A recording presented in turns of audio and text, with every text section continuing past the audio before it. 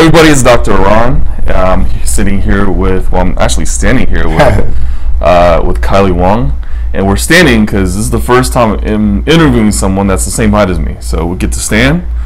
And uh, plus, you get to see the really cool stuff that's behind us. This is the newly opened Regen room. Correct. Right? Yep. And I assume Regen stands for regenerative. Correct, absolutely. So regenerative medicine. Yeah. So this is kind of that component of kind of what I'm promoting and what I do. Yeah, so here's what's interesting. So you spent, what, nine seasons in the NFL? Yep. And so you know a thing or two about regeneration, Yes. right? And not being injured and stuff like that, right? Uh, absolutely. uh, first-hand experience Mm-hmm. uh, with probably yourself and your teammates and everything like that, right? And so this is this is something that um, that I want to get my head around. okay. When we talk about regenerative, Mm-hmm. is there really such a thing as regenerating body parts, tissues, joints? Is that like a thing? So regenerating, so regenerative, and, and this is actually a, a fundamental argument that I have a lot of times Okay. with a lot of people, right? So regenerative medicine, everyone first first thing they always think about is stem cells. Right. Yes, that is a component of regenerative medicine, but there is much more to um, you know regenerative medicine. Many times people want think they want stem cells because they've heard about it Okay. But that might not actually be the best treatment for you. When I say, when I truly say stem cells, I'm saying there's basically two forms of stem cells, Okay. right? That is bone, basically bone marrow, Yeah. right?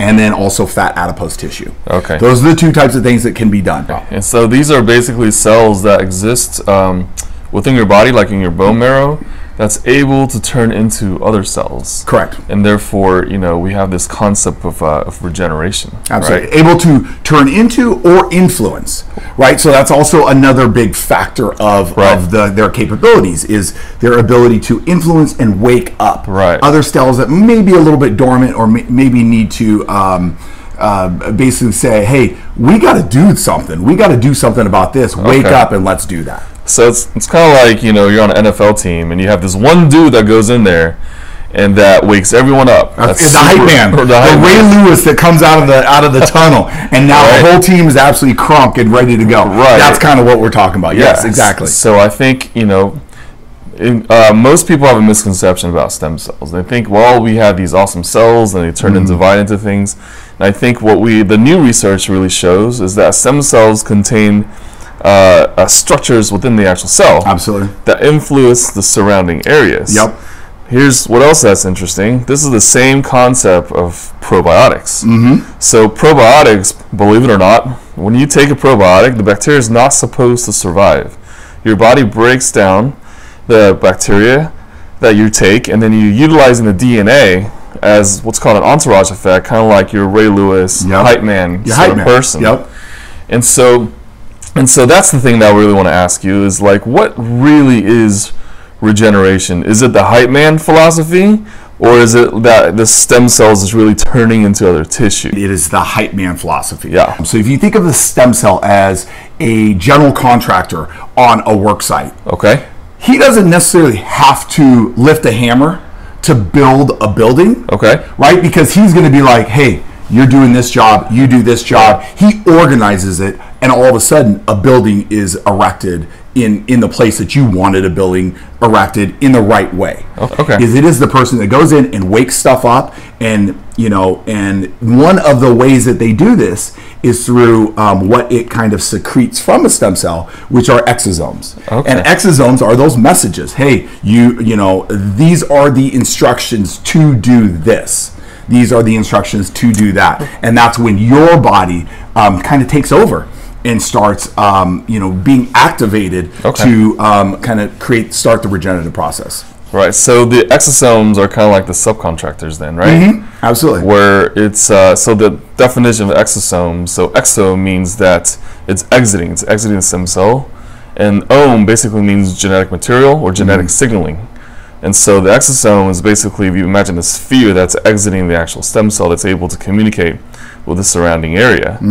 And so uh, there are and there are a lot of different uh, ways that nature has allowed this to happen, Yeah. yeah. far beyond just stem cells and exosomes. Absolutely. So I talked about your gut bacteria, your gut microbiome. Okay. And then the other thing is that if you eat plants, like greens and purples and reds and stuff like that. Your bacteria in your gut actually breaks down those actual colors Right. Called polyphenols, okay, in the, in the phytonutrients. And phytonutrients plant-based nutrients, uh, which contains these polyphenols, also have the similar effect that exosomes and stem cells have on the body in regeneration. Is that these things actually affect the way uh, that genes are actually expressed. And so we see this sort of thing happen in nature. So this is nothing that's like you know really scientifically out there. Right. it's just a regeneration is part of a natural process that occurs. Without question, it's happening all day, every day. Right. And I mean, that's kind of one of the things that you know drew me to this as an alternative. So I've, I've been through a number of surgeries. We talked about my football background, four four surgeries, and I had way more to come. And Wow. there were a um, basically, I was told that I was a great candidate. You know, laughingly, a great candidate for a lot of different joint replacements. And I was, I'm such a believer in the body's ability to heal itself. And in fact, that's really what medicine is doing. That I just, that's kind of how I discovered kind of the, the, the procedure for myself. And then ultimately kind of got involved in the regen room was uh, bringing that to everybody. Because what I have seen for so long is the advancements from medicine to everybody is typically 19 to 20 years right so like i was first introduced to prp in 2001 that's kind of when some of my teammates were having it and we were, i was you know um, but you know So i PRP is platelet-rich plasma. Sorry, yep, yep. Let's, let's define this a little bit. platelet, uh, platelet rich enriched plasma So that's from blood, right? it is from your blood absolutely um, Not someone else's blood. not uh, no Own Definitely not. blood. yes So if you're if you're getting a PRP therapy, it's actually derived from your blood. Mm-hmm. It's your cells, it's your healing components that are in there. Right? uh, centrifused down and basically separated the, Right. the plasma is, is separated kind of from the red blood cells So why did you hear about it in 2001, and why is this such a recent thing now? Exactly, and that's the point, right? So the typical progression is always uh, elite athlete has access to it, um, then it goes to really, really rich people, and then it kind of makes it its way to everybody else. Okay. And so the idea of you know when I had to figure out what I needed to do for my body to be proactive to make sure that I move the way I want to and live the lifestyle that I wanted to, I had to reach out to guys that are current players, figuring out what they're doing. Like what procedures are they doing? Okay. Because I knew that as a non-pro athlete, I just didn't have that access. I didn't have that network Okay. anymore. And so the the premise of that is there's amazing things that happen. And athletes are, are, are usually the first people to kind of have an opportunity to do this because for them, outcomes is everything you know, if it works and does it work, does it get them back on the field? Does it allow them to, you know, avoid a surgery? Um, that is, you know, an immediate consequence to kind of their ability to earn money for their family. Yeah, Um, yeah. And to do what they love. And so that's why they're always seem to be very cutting edge. And so now you have kind of brought whatever was uh, available for the professional athletes to the rest of the popula- uh, population, right? Correct. The one thing that was very clear to me, and the reason why you know I got involved with the Regen Room, is I personally believe that regenerative medicine is amazing, and it did. It's done remarkable things for me. It's done remarkable things from a lot of my friends, and you know, by and large, it's being led not by MDs. And so for me, that was a big that was a big part of it. Is that this should this is one of those things that should be you know MD led, um, and and that's kind of why you know we teamed up or not really teamed up, but we were hired um, by you know one- a, a doctor who was you know in the NBA, in the NHL, in the MLB, who's been doing this for a long time, Yeah. has has made his practice around regenerative medicine because you know he has to be heard as well just like you know um, some of the great you know uh, medical you know companies that we have around in in in the city of Houston. He should also be at the table saying hey look there are sometimes alternatives. It, there is not a bad candidate for regenerative medicine but there certainly is bad timing. And what I mean by that is is you know you could be too far, um, and and we're into structural stuff that just can't be can't be addressed by regenerative medicine. really bad arthritis and or or Ligament yeah, ligament tears. tears. that type of stuff. Okay. Um, or or that's also uh, we have to be real about this as well. Um, is if your body is not being well taken care of and Yeah. your stem cells are not are not very healthy to begin with what do you think injecting or or, or introducing um, healthy, young, vibrant stem cells will do to wake up those unhealthy stem cells? I love the one thing we know about medicine is that it is designed to mimic your body's ability to heal itself. There isn't a drug that's out there. Right. Food is medicine. Movement is medicine. We'll talk about cold is medicine. Breathing is medicine. They're all ways to just help your body regenerate. And that's kind of what gets me really excited and gets me excited waking up in the morning. You know, the the biggest the biggest thing that people want to avoid, and this is how do I avoid surgery Mm-hmm. on a you know a knee, hip, um, shoulder, etc., etc. sure. And uh, the concept is, hey, should I try this regenerative medicine route Mm-hmm. first, or is it too late? Is there like a gauge? Is there like a like a sweet spot that's in there? Well, I think there's there's there's two ways of looking at it, right? So for me, I was pretty proactive about my regenerative medicine um, um, procedure, and that was because you know I knew that I had a lot of I had accumulated a lot of damage on my joints. Okay. Right. So I I, already I had already had four surgeries. I knew for definitively I needed two more surgeries. Yeah. And then at some point I was trying to delay Yeah. the possibility of having to have joint replacements. Which joints, by the way? Uh, so knees and shoulders. Knees and shoulders. Yeah, yeah, Yeah. yeah, yeah, yeah. And so, you know, we just kind of, you know, I was like, okay, well, I need to start doing things now. Mm-hmm. Um, when it comes to when it's too late, that's something only a physician can, can really do. And that's why, you know, imaging and diagnostics and all that good stuff that, that has to actually happen, that has to be done under, in my opinion, an MD's um, care but um, you know uh, once structural things are really broken down Yeah. it's just it's just really too difficult to be able to really you know make any improvements that that you want for the person. Right. do you need to make lifestyle adjustments before you do regenerative medicine? Or can you do, make lifestyle adjustments while doing while in the program to regenerative medicine and which is going to produce a better outcome? Right? So obviously it, the healthier your cells are the healthier your body is going to regenerate there's just no doubt about it and that's going to come from how you deal with stress how you deal with um, you know nutrition uh, hydration sleep right? Like all of the things that are in the world of what I did for a living, because he says I played football. In real, in reality, my job was to be to recover. Um, but but in the world of recovery, Yeah. if that person comes in, then they're usually going to do very well as long as structurally they're they're they're you know sound. So every player in the NFL is a professional recoverer. Yes. In all, in all professional sports, I guess. In all, pro- no, that is so. People will That's ask me all the time, "What was your job in the NFL?" And obviously, it. Yeah, I was a linebacker, so yeah, of course, on Sunday I'm supposed to tackle people. I'm supposed to get to the ball. Uh-huh. But it was what made you a pro, what made you a, a true professional athlete, Right. is the time and the duration you would take to recover Okay. um, from the moment you walked off the field to when you were back on again. Because remember, every single week there's someone younger, someone faster, someone who's out there to try to take your job. And the only way to continue maintain to have a job is to be out there on the field. And that was what I took as one of my big advantages that I can always contribute to my team and to my coaching staff Yeah. was the fact that I was very conscientious about recovery Okay. and um, and that because I was not the most talented, I was not the fastest or the strongest, or you know, I just was was naturally blessed with that. I just took everything I did seriously to try to gain an advantage. Right. So that way, when I was on the field, hey, my my eighty five percent healthy is going to be better than a the best athlete in the world seventy, Right. and that's how and that's how you play a game. Right. So we know that the best athletes in the world are not necessarily the fastest or strongest, Mm-hmm. but they're most consistent. Right.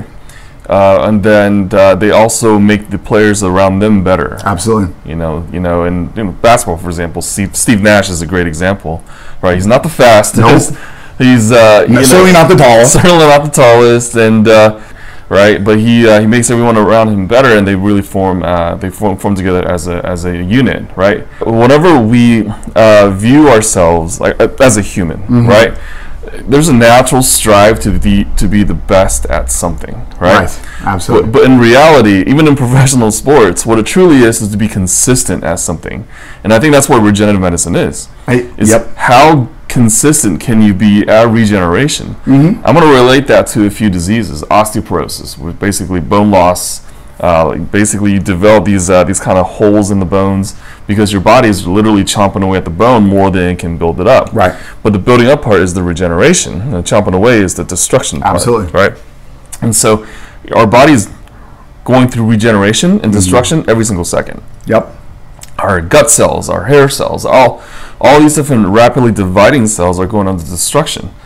And so they're um, so I think what regenerative medicine is is not giving the body the ability to regenerate, but um, but helping the body to giving its tools it needs to regenerate. Absolutely. Right? So you said something earlier. There were four points. Uh, I believe stress, nutrition, hydration, and sleep. Right. Yeah. uh, Yep. So Probably a couple. There are some more, but yes, we can. And movement, obviously, range of motion, movement. That's a, a, critical factor. Mm, right. But yes, those are those are the, the big five that we you certainly know you need to address. Gotcha. So, um, so stress. If, if people were able to optimize stress levels, Mm-hmm. nutrition, hydration, and sleep, um, that would be a really big win already just for regeneration. Without question. I mean, and not only a big win for regeneration, Yeah. but then think about you know the effects on you know heart disease. Right. Think about the effects on on obesity.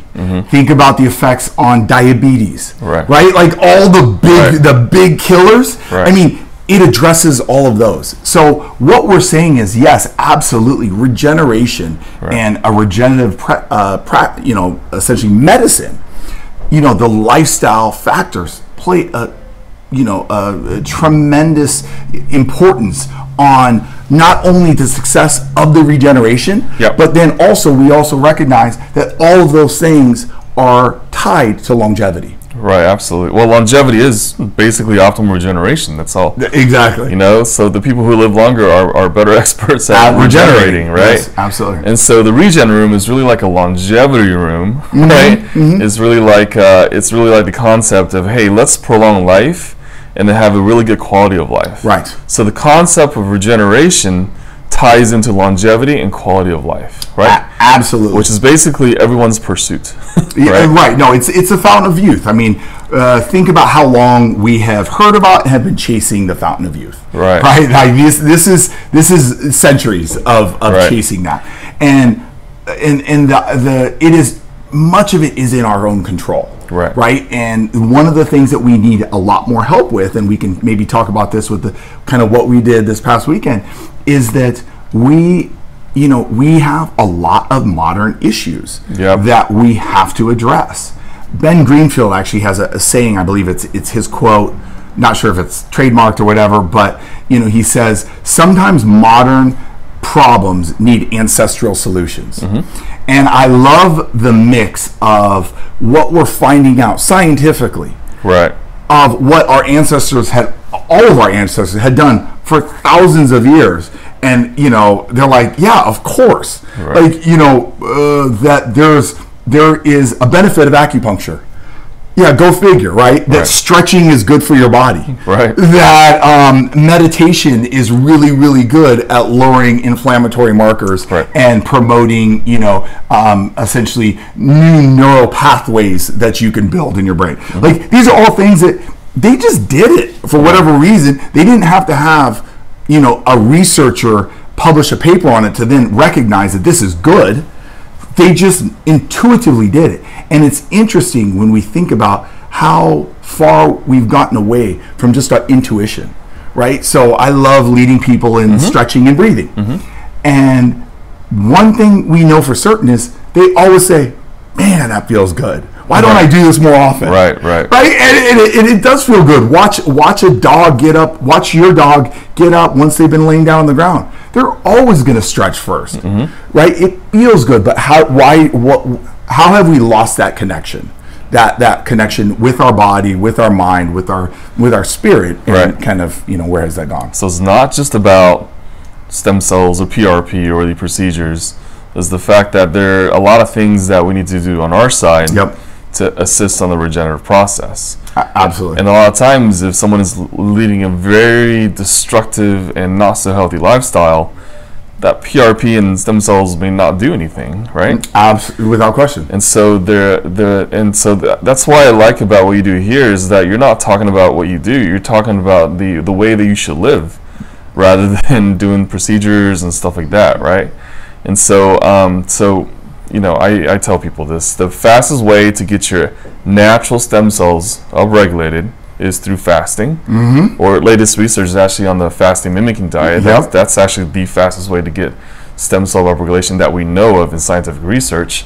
And then, um, and so, whenever we go through uh, the process of um, increasing our ability to heal, Yep. like naturally, Mm-hmm. There's always destruct self-destruction first. And self-destruction not necessarily a bad thing but destroying the bad self. So we call that autophagy. Auto is self phagy is like eating away. So the concept of autophagy is uh, is what happens when people go through different fasting states. Yep.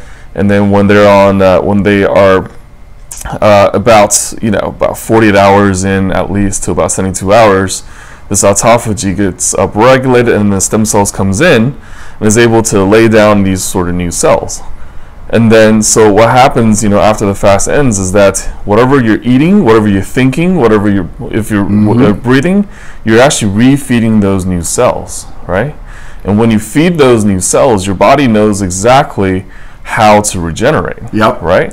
When you combine that with what all the stuff you do here, I think that's where the most important portion is, right? So it's funny you said that without question. Yeah. And and one of the things that that, Yeah. that I really appreciate, and again, why you know, I was like, "Uh, Doc, absolutely, I would love to. I would love to work with you here at the Regen Room. Yeah. Was because if you're unwilling to want to make basically get on board the program, Yeah. the regen the regen program, the So lifestyle the- plus, um, coaching, some mindset type stuff. Yeah. If you're unwilling to, then that's just like, look, it's not saying you're not a candidate for regenerative medicine. It's just we don't want to work with you here. yeah, Uh, we're going to choose not to work with you here because you know outcomes matter the most. um, Um, it's a partnership, it's a partnership. We're going to work Yeah. together, and you, and you got to do your part as well, and accountability. Right. And so, the the the one thing that is just so much fun to kind of to see is people just be like, yes, they're ready and they're ready to go. Mm-hmm. One of the things that you actually talked about that was very interesting is the fast mimicking, Mm-hmm. because uh, we've you know read a ton of that research as well. It's amazing. It's phenomenal.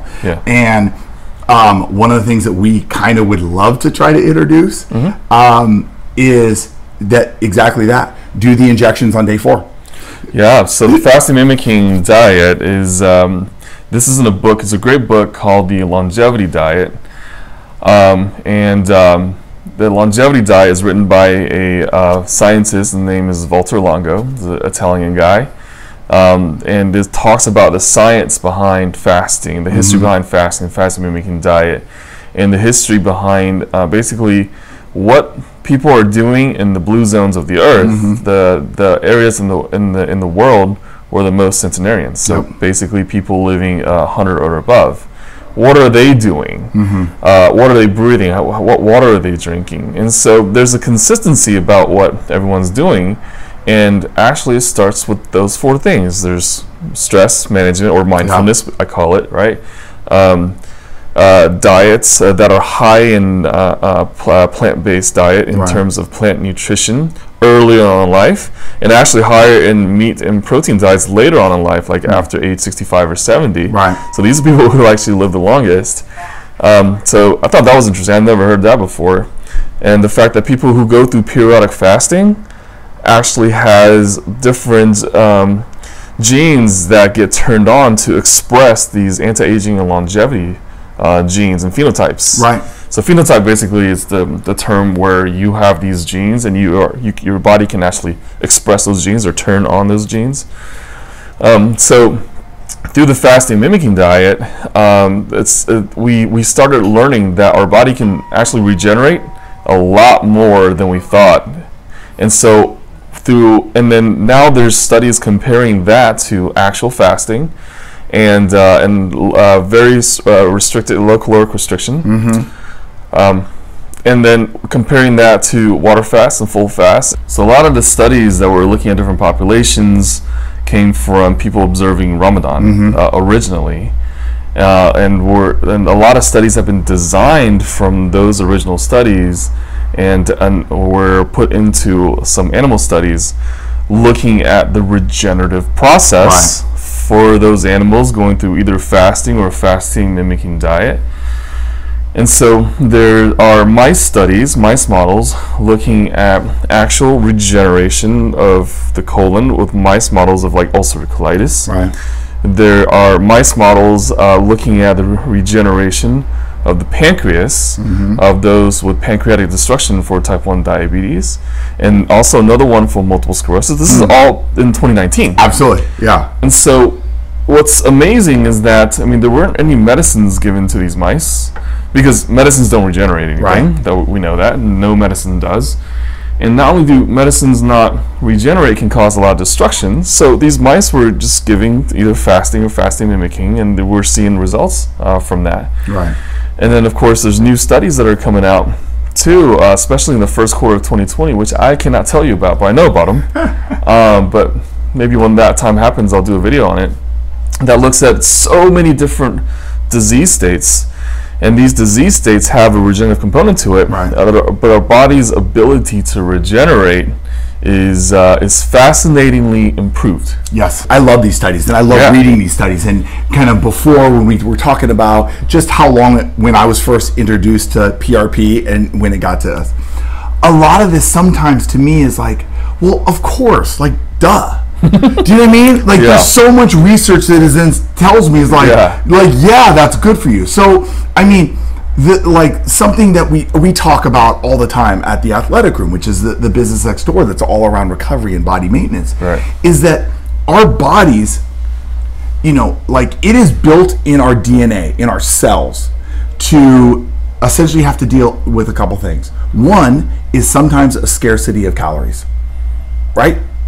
The other one is essentially have to deal with environmental elements, Right. both heat and cold. Uh huh.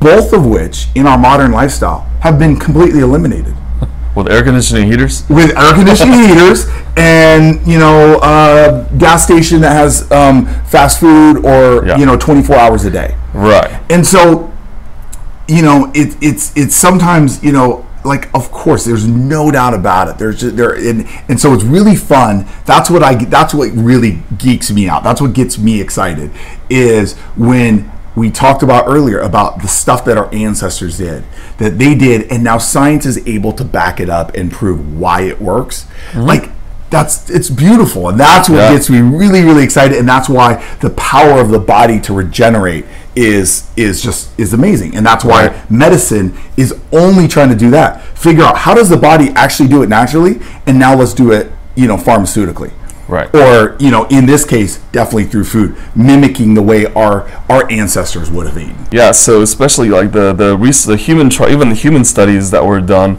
on basically um, doing a five day caloric restriction uh, called the fasting mimicking diet uh, once a month for uh, for for three months, and they did blood work before and after. There's stabilization of uh, inflammation markers, metabolic markers, and things that we don't expect to change very much in just Right. three months Right. of someone just doing a caloric restriction for five days and eating regular for three weeks. Wow. Caloric restriction for five days, eating regular for three weeks, and caloric restriction for five days. In my head, I was like, that's not going to do anything. I was proven wrong. that's awesome and and this is what we see. Right. So 3.3 trillion, you know, spent a year uh, in, in just in just medicine and chronic disease actually yeah yeah alone. well because eight out of the ten reasons we go to the doctor and, Yeah. or, or essentially die are chronic related right Right, and so these chronic disease, by, for example, all chronic disease by definition is the inability for regeneration. right That's what chronic disease is, right?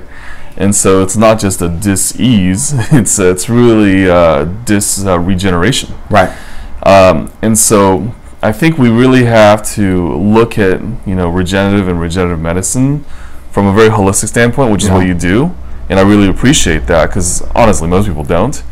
And uh, a lot of people who do regenerative medicine, I think a lot more focus needs to be f- needs to be really surrounding the things that you focus on, right? Uh, you know, stress, uh, nutrition, hydration, movement, and sleep. Right, big five. That's, big, right. that's a big five. Yeah, we'll, right. we'll stop there for now. But those are the major big five. Yeah, right? yeah. We just know that right there. You know how you breathe. Can, you can you can reduce your your inflammatory markers and your blood pressure, and just through what five breaths. I think one Japanese study had it was five belly breaths Yes. could reduce your blood pressure and, and kind of your your, your cortisol levels. Um, you know, uh, sleep. Where does regeneration happen? It's During sleep. when you're sleeping. Yep. So if you're not sleeping well, then of course, you know, it's going to be uh, very difficult for your body to regenerate. Um, that is something that is taking the elite athletes world by storm is just the science that's going into Yep. and the technology going into making sure recovery happens and primarily starting with sleep. Right. Nutrition, if you're not feeding your cells well, again, how do you expect for them to, you know, respond? Um, and something else that we kind of talked about when we talk about movement or exercise and that type of stuff, we know that not all stress is bad, right? Yeah, You- chronic stress is bad. Chronic right. stress is terrible. Right. But stress, our body is made for stress. Right. body to adapt short bursts. short bursts of stress, which is essentially what a fast mimicking diet is doing. Exactly. You're you're you're making you're, you can think Yep. of it like a, a- like you're going to the gym. Mm-hmm. Is is pretty much what you're doing to your cells, mm-hmm. and you're making them stronger. It's so much fun, and it's in some ways sometimes it's just kind of obvious.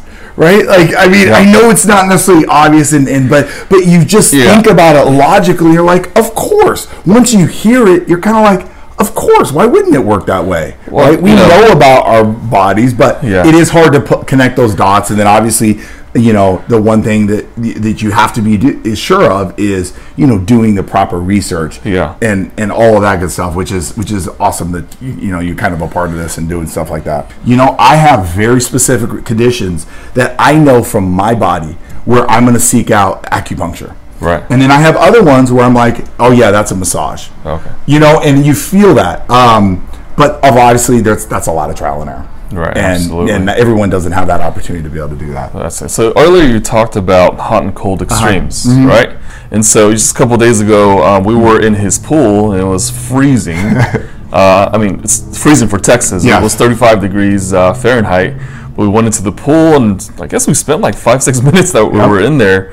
And uh, and everyone knows, even my wife knows. Like I hate differences of temperatures on my skin. I've always hated it, and it kind of freaked me out in the very beginning. But I went through it, and so um, that's a very extreme form of cryotherapy, I Yes. think.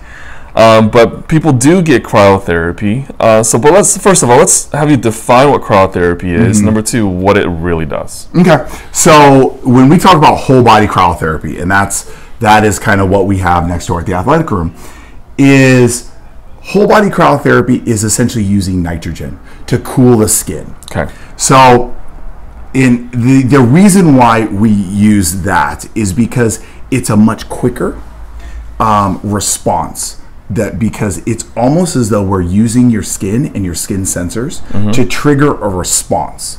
So the same duration in a cold tub as an I would have done when I was an athlete would have been about 15 to 20 minutes. You can do this in about three minutes.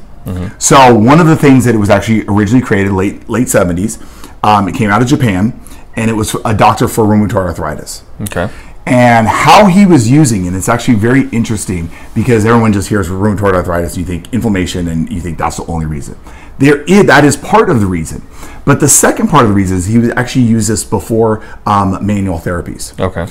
And so, you know, just even anecdotally here, working with athletes, working with guys coming off of surgeries, Tommy Johns, that type of stuff, we can actually see before and after um, um, changes in, you know, whatever whatever we're measuring, extension or flexion. Um, A range of based- motion, A right? range of motion um, based off of, you know, pre and post cryotherapy. And so, um, you know, there's there's a number of factors that are happening, but one of them is just kind of resetting the nervous system. So when I was a pro athlete, the one thing that I, we did every single day uh, was to get in the cold tub.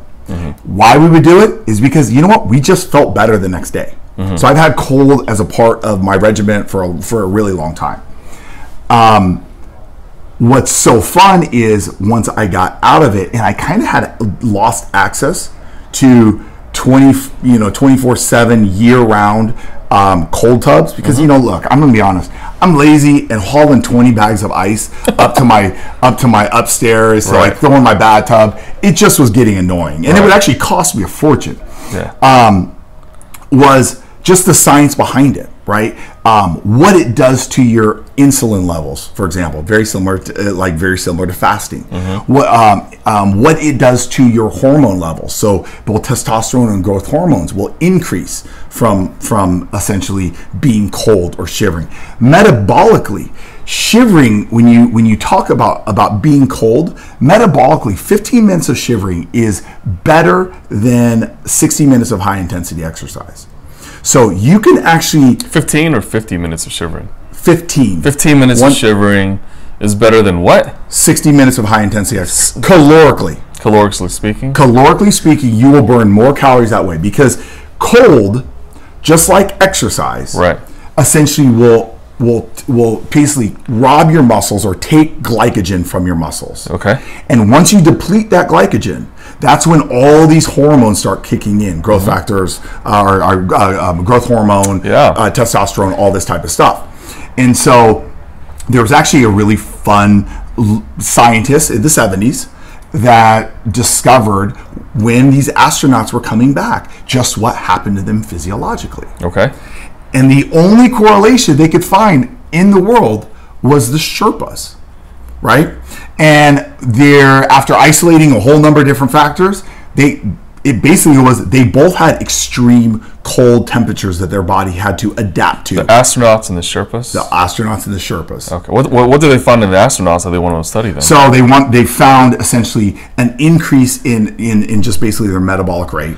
Okay. Um, uh, increase in VO2 maxes. okay. um, and an increase in brown adipose, uh, brown fat adipose tissue. Right. So keep you define VO2 max? Absolutely. So basically, it is how I think of it as the lame person. If you start running Yeah. and you run consistently, Right. and now you could run a little bit faster and a little bit longer, Yeah. that is an increase to your VO2 max. Okay. Just simply simply stated, right? Okay. Like that's and it's stamina.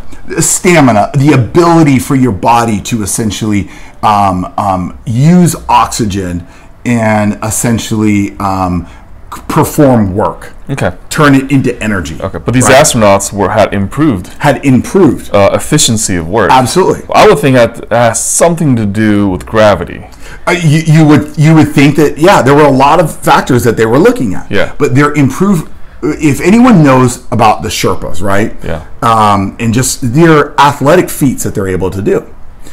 You know, typically you say, okay, a Sherpa, you know, he goes and he can he can basically say someone climb, is wants to go climb Mount Everest Yeah.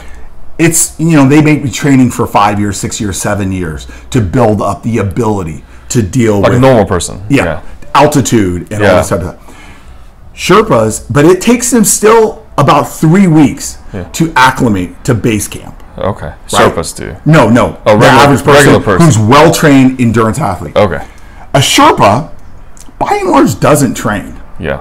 right? Like like they're not really. That's not really. They're not. That's just that's a job, is what they do, and they adapt in about three days. I feel like they should play on the Texans. yeah, especially in the fourth quarter. um, uh, yeah, we've been good in the fourth quarter lately. I'm, uh, you know, I'm very happy about that.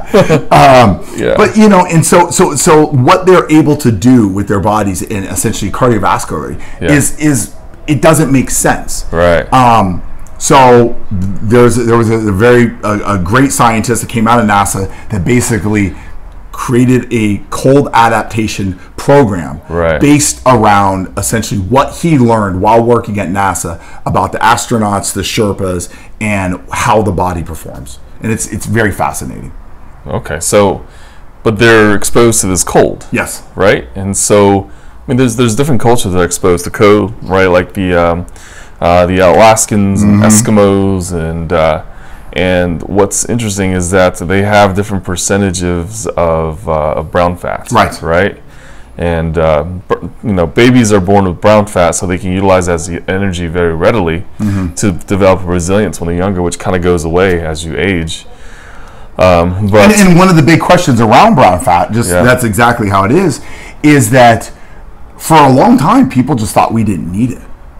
didn't need brown fat. Didn't Yeah. need brown fat, right? It was only till recently in the in the in the teens, I guess, that we could actually start imaging for it. It was when better, um, you know, cancer screening Yeah. imaging could could show up. And what they found is that oh, some adults do have it, but the only only the adults Right. that have exposure to cold, Exposure to cold, right? Exactly. right? And so and so And so there's there's kind of a longevity and regeneration uh, mechanism that's kind of built into that. right? Absolutely. Uh, now the these astronauts that went into space didn't have brown fat, no, but they had exposure to cold. absolutely. So it's not the brown fat then. It's basically some exposure to cold, Mm-hmm. or or maybe uh, the the lack of gravity and the combination of different things, and maybe the way they were eating because astronauts have to eat very healthy sure. for training. Yep. And so there's something about that that turned their metabolic mechanisms on Absolutely. uh, th- um, through through uh, affecting their genetics called epigenetics uh, that allow them to have a very uh, very similar profile as to someone who's living in the cold on Earth with brown fat, At high altitude, absolutely. high altitude. Yep.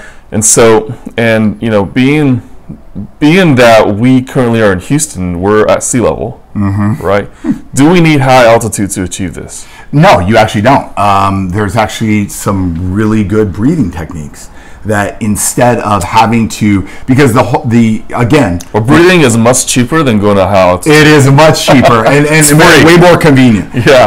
Um, because what you know, what we have learned, and this is comes out of all the performance Yeah. enhancing type stuff, is that you know the best way to increase essentially your abilities to your body's ability to oxygenate it and in especially under performance is to live high and train low right so if you ever hear the adage of you know an elite athlete he wants to live you know somewhere in high elevation maybe like mexico city and train somewhere at low elevation Oh, okay. you know kind of near like because you know that that translates to you get the best of both worlds Right.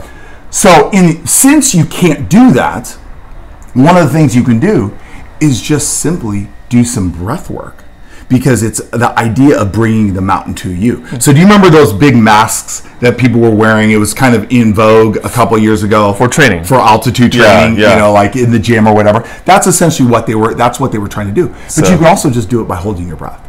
You can do it by holding your breath. Yeah. Okay. you, you know, you could do it that way, but you could also do it by holding your breath. And the reason why they're doing it, and the reason why it's so important in sports, is uh, UT Dallas did a study, and they took 1,500 meter collegiate runners. They took them for a month, and they they all trained together. Yeah. So high level guys, very fit, all trained together in um, in Dallas. So they were doing all their work they broke them up into two groups. One group did the training and then had 20 minutes of breath hold exercise, breath exercises a day. The other group just did the training. The group that did the breath hold exercises actually increased their red blood cell count by 9%, mm-hmm. which translated into an increase of their VO2 max by, I believe it was 5%, Okay. versus the other control group. right? They have better stamina. So better stamina, more efficiency, and yeah, they can create more work. Okay. Yeah.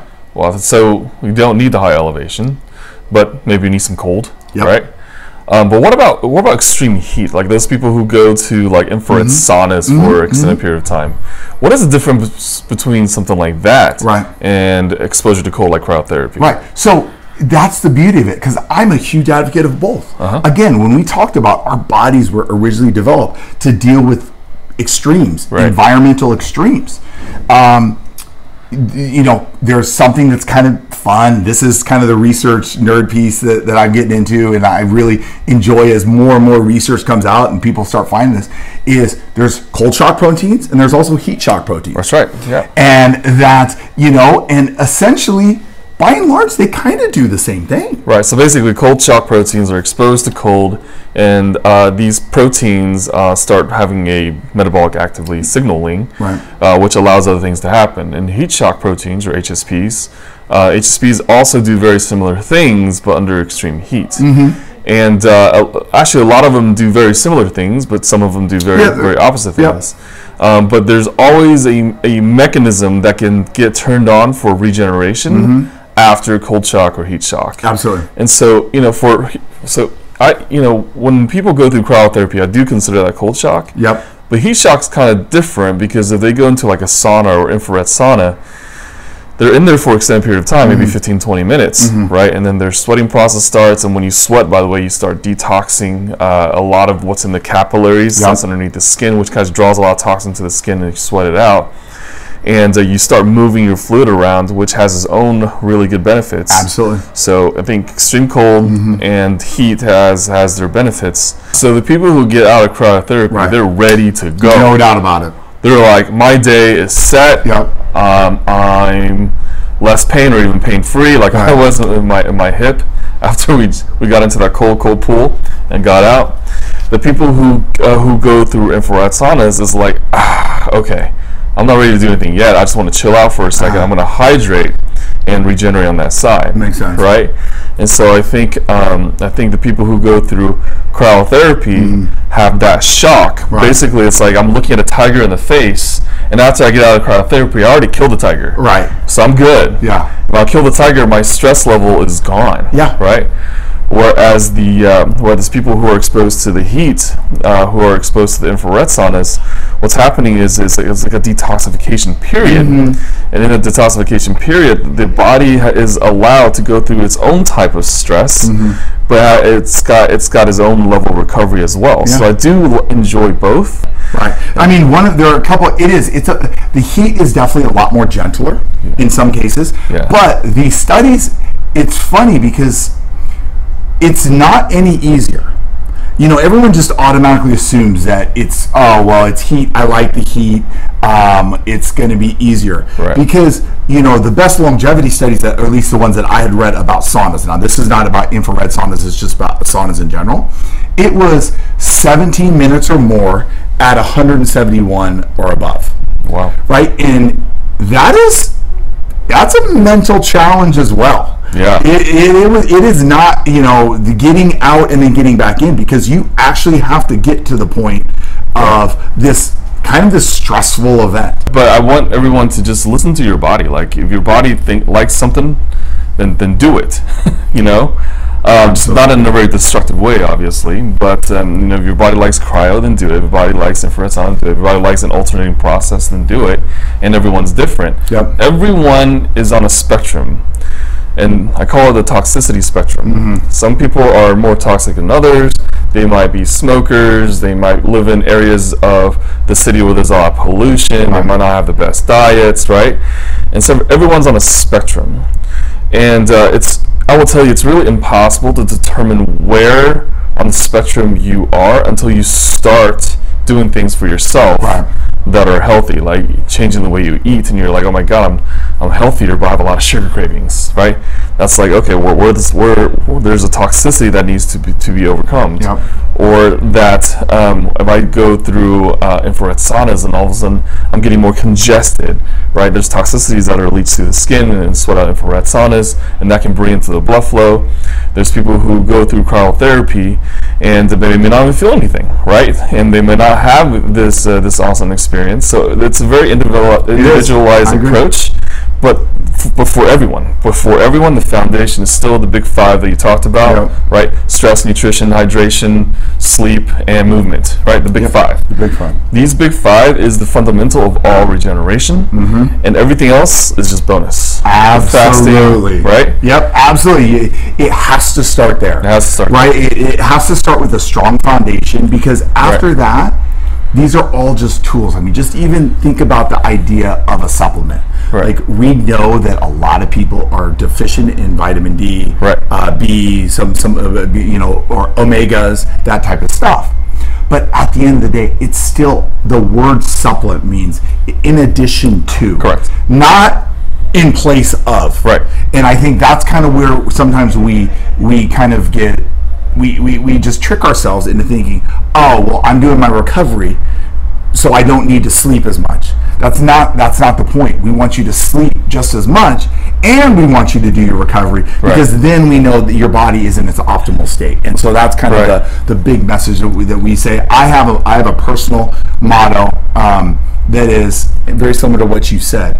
Is you know if you listen to your body when it whispers at you, you can avoid it screaming at you. Because at the end of the day, once it's screaming at you, you have a lot less options. When it's whispering, modalities like infrared, cryotherapy, um, uh, qigong, tai chi, um, acupuncture, stretching, Breathing. yoga, breathing, they're all available. They all can work. When it's screaming at you, some high level drugs, potential surgery, there's just not a lot left. Right. And so that's what we want to try to do is be an active participant in our health, our wellness, and stay ahead of it. And that's why I did my regenerative medicine procedure was to do that, to be ahead of it, so that it didn't get to a point where I just couldn't do it stuff anymore. I, I Right. couldn't be the person that that you know I identify with, which is which is an athlete for life. Well, what are some of those whispers that are really common we're talking about? Lower back pain. Lower back pain, Uh, huh? right. Uh, the, one of the most common whispers that we see here at the athletic room is, you know, people dealing with lower back pain. A lot of people have lower back pain. Yep. Um, another one, shoulder. Shoulder range of motions around shoulders Yep. and knees.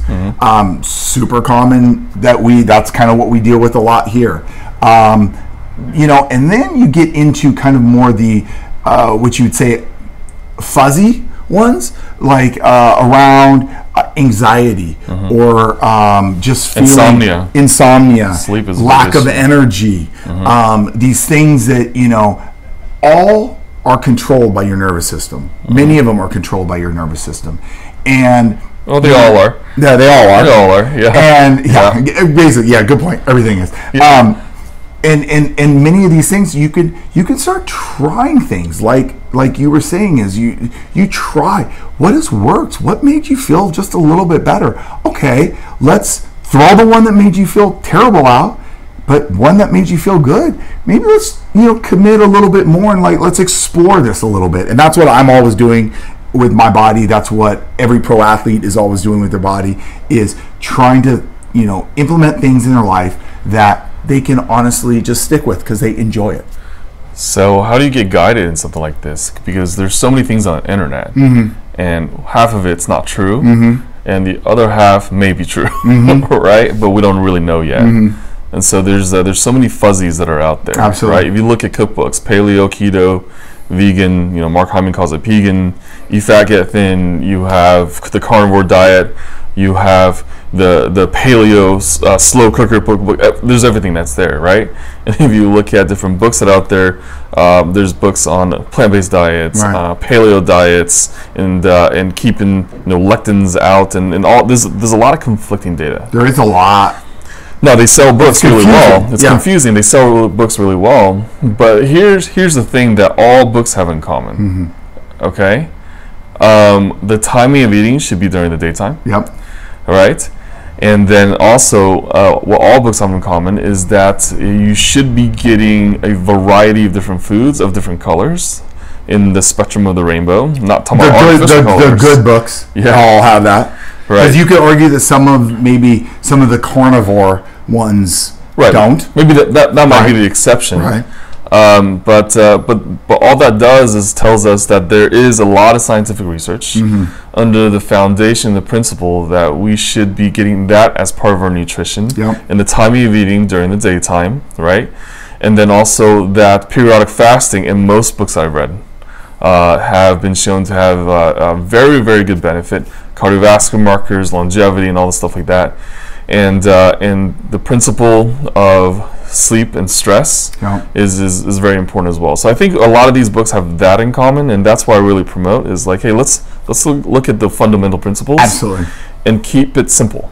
Uh, yeah, so so ex- with it, without question. So how I personally look at all the different diets, there are look. I get it. I get if you're going to go keto, why you're going to lose weight. You are going to lose weight, Yeah. but you're also going to you're also going to increase some risks for a lot of other stuff. Um, I was talking to Roberta Anding, who is you know the Astros uh, nutritious and Yeah. uh, does some counter Gatorade and rice. and she's just talking about I can't remember exactly what disease, but the rise in that in that particular disease um, because of keto diet. I subscribe to this idea as the the, the common sense idea of I love the the tra- I love the yin and the yang, mm-hmm. traditional Chinese medicine, mm-hmm. and I love this idea of moderation and and that excess is just equally as bad as deficiency, mm-hmm. and that your body's trying to trying to find balance and maintain balance. Let's just think about something as simple as our pH levels, right? Right. We're trying to maintain the seven point three six five, and what I love is this this idea of if you want to eat healthy, by and large, it boils down to this: eat like you're poor in another country That's really good. right? Yeah. If you eat like you're poor in another Right. country, Right. then you It's mainly basically covered everything It's vegetables and ancient grains, basically, right? And so with mixing some proteins in there Yeah. when you need to. And it's during the day because you don't have all the excess calories to eat at night. That's exactly what the you know the book the longevity diet actually talks about is that during these earlier times, uh, these people who live the longest Mm-hmm. uh, are very low protein, uh, eating uh, all spectrums of different colors of the rainbow in terms of phytonutrients. Yep. Uh, but there's nothing necessarily in excess, um, until they get older, then they have they have uh, availability of high protein foods and stuff like that. Right. But you're absolutely right. You know, and I think there's a downfall of every uh, every you know sort of fad diet out there, Right. um, and paleo, for example. So American Heart Association came out with a study that people who uh, pa- uh, who went paleo after the first month had increased risk of heart disease or heart attacks, right? And that's really because most of the grains they were getting were from bread. so, but then if you put if you put fiber into the diet, so if you put um, so basically these people are only getting fiber from the bread, from the grains, Right. Um, because they traditionally have a low vegetable intake, anyways. Right. If you take that out, that protective mechanism is gone. So there's nothing wrong going paleo as long as you you support the whole thing with uh, with uh, fiber, insoluble fiber, which is in a lot of plants, leafy greens, leafy purples or reds, whatever it is, right? And so, and Like your breakfast this morning. yeah, exactly. It was. It was It's a, on my Instagram. It's on your Instagram. Yeah. It was a perfect breakfast. Yeah. It was colorful. Yeah, it's I, I love the idea of just eating color. yeah, so Eat color and make them. You know. Yeah. Right. Sorry to interrupt. No, that's good. That's good. But if we know all this, mm-hmm. if we know all this, if I go to elementary school, mm-hmm. how many colors are in their lunch? Yeah. If I go to a really, really expensive restaurant like that one down the street over there, what does the kids' menu look like? Yeah, it- how colorful is it? It's the same thing. So there's this there's this idea that we know of what's healthy, Right. but when we treat children and looking at the food in the school lunches, mm-hmm. it's really devoid of a lot of color. Even if there is color, um, there's maybe some fruits and high fructose corn syrup in the fruit. Right. fruit It's, cup. it's artificial. It's not natural. Right, and so we know that that creates its own level of inf- inflammatory problems. So I think the attitude of how we treat food in the country um, starts with what we see in, in school lunches, what we see in the kids menu. Right, And, you know, I've, I've one in kindergarten and one in one in pre-K. So you know, and a lot of things these these bother me, right? So um, and so, but but that's how we view convenience. We view kids as always uh, it's a little bundle of joy Right. until they grow up, and it's it's a bundle of inconvenience. And so everything to make this convenient is now the culture, Yeah. which is food devoid of colors Yes. which is you know you have the mac and cheese and the fi- uh, fish sticks or, the, or the whatever. Please feed your children really good food. I know they don't want it in the very beginning, but they will crave it after a while. I know mm-hmm. my kids do. Mm-hmm. Uh, but these are these are the basic fundamental principles of regenerative medicine. Mm-hmm. Agree? I couldn't agree more. Great, awesome. Thanks, guys. Thank you guys. Thanks.